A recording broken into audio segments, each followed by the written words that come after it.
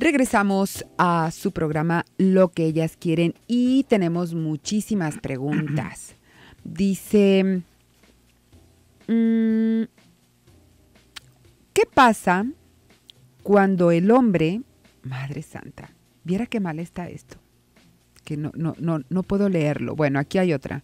Dice, excelente programa. Hace aproximadamente un año la esposa de mi cuñado se fue con otro, abandonando tres hijos y obvio mi cuñado quedó deshecho como hombre y esposo. Él se encarga de sacar a sus hijos adelante, pero le noto una gran tristeza al grado que empezó a subir de peso y ahora debe de pesar más de 200 kilos. ¿Cómo se le puede ayudar? Gracias. Bueno, pues sí le quiero decir, Anónimo, que usted no. Él tendrá que ir con un... a buscar ayuda. Sí, claro. Es, es, una, es una tristeza, ¿no? Ver cómo las personas se están deteriorando a nuestro alrededor, pero si no, está en ellos buscar la ayuda. Tal claro. vez de nosotros señalarlo y señalarlo de una Claro. manera también afectuosa, ¿no? Claro. Que no sea un que no sea un juicio que estamos haciendo, sino, oye, fulanito, veo que te estás poniendo muy mal. Siendo sincero, te estás poniendo muy mal y me preocupas. Claro. ¿no? Y me preocupan tus hijos. Claro. Dice, por favor comenta qué pasa con los esposos que se separaron hace varios años, pero no han concretado la separación legalmente. ¿Están evitando relaciones futuras? Pregunta. ¿Realmente qué pasa que no quieren terminar el divorcio por gusto, pero no viven juntos? No sé, yo no, eh, es que sería conjeturar, eh, te voy a decir que sería conjeturar. Como puede ser esa razón, este, eh, puede ser como que darle el golpe de que ahora sí ya, ¿no? Ahora sí vas. Pero, pues, cada quien tiene razones muy, muy particulares. Dice, ¿cómo en qué y cómo podría ayudarme a acudir un psicólogo para ser una persona mejor y mejorar mi relación que está muy mal? Quiero cambiar, pero mi pareja ya no cree en mí y me es muy difícil. Y ahí es donde está el problema, yo creo. Si usted quiere cambiar para que su pareja crea en usted y cambiar, en lo, y el psicólogo no le dice, mira, tienes que cambiar en esto y en esto y en Vamos esto. a hacerte la medida a tu pareja, ¿no? Exacto, no va por ahí.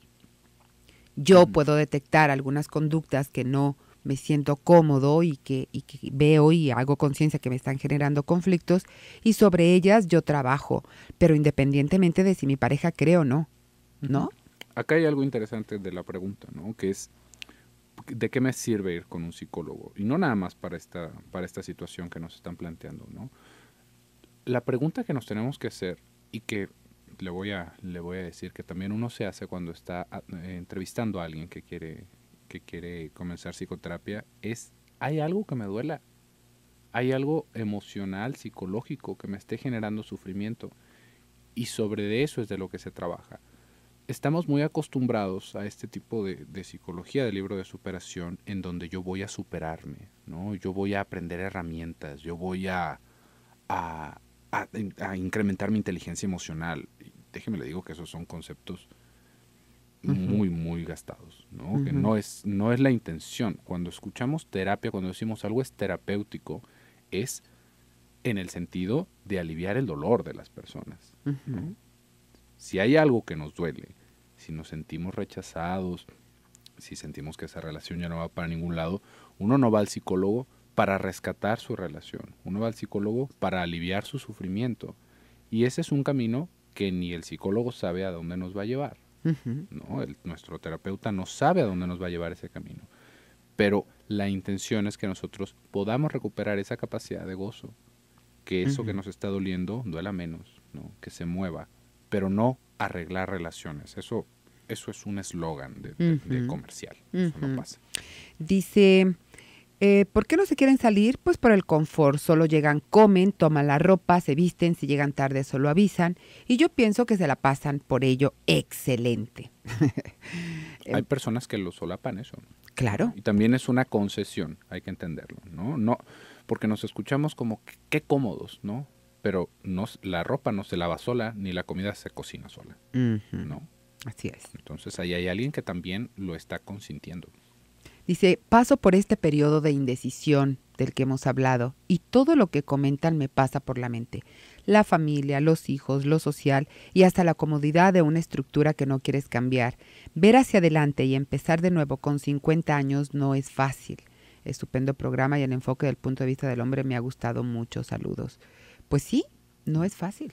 También hay otra cosa que es bastante difícil para los hombres, ¿no? Pensando ahorita en, en todo esto desde una perspectiva masculina.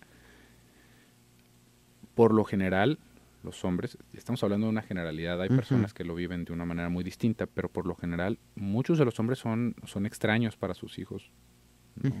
¿Por qué? Pues porque la mamá es más bien la que los está cuidando, porque está en casa o porque tiene más tiempo en casa, porque la mamá forma vínculos más fuertes en esos primeros años, ¿no? Con los, con los niños. Entonces cuando nosotros nos salimos, ¿no? O se acaba la relación, el contacto con los hijos es, se, ve, se ve realmente erosionado. ¿Por qué? Porque ¿qué hago? ¿no? Ahora los voy a sacar yo solo. Antes pues estaba mi mujer y yo los cargaba un rato, íbamos y luego pues ya me sentaba y ella les hacía, porque no sabemos cómo tratar a un niño. Entonces eso también es parte del miedo, ¿no? Muchas veces que escuchamos es que es la comodidad de la estructura. Son muchos hombres que, realmente no se saben valer por sí mismos como individuo, ¿no? Y ahora como un padre solo, como un padre divorciado. Entonces es más bien como, ok, puedo aguantar todo esto que está sucediendo, pero no quiero enfrentar esto otro. Y para la mujer sucede igual, ¿no? Puedo soportar su indiferencia, sus maltratos, pero trabajar, ¿no? no.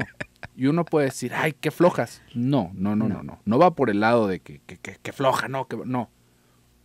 Es una habilidad adquirida el trabajar, porque es sostenerse a sí mismo. Y hay personas que no pueden. Nunca lo aprendieron a hacer. No es así, no, pues es que tú te pones y haces pan o, haces casas. No, no, no, no. No es por trabajar, no es por trapear. Eso lo podemos hacer todos. Administrarse. Ir a un trabajo, lidiar con un jefe. ¿No? Todas esas cosas tienen que ver con el trabajar. Y eso es lo que muchas personas no lo saben hacer. ¿no? Y eso es lo que da muchísimo miedo. ¿Por qué? porque nos estamos viendo, me voy a regresar con mis papás a vivir otra vez como niño, ¿no? O me voy a morir de hambre aquí, entre mi mugre. Entonces, claro. que se vuelve algo terrorífico. Esto me gustó. El trabajar es una habilidad adquirida. Vamos a una breve pausa comercial. Me encanta el comentario de Marilos. Dice, para los hombres, si una relación no está mal, está bien. Para las mujeres, si una relación no es buena, es pésima. Con eso nos vamos. Ahorita regresamos.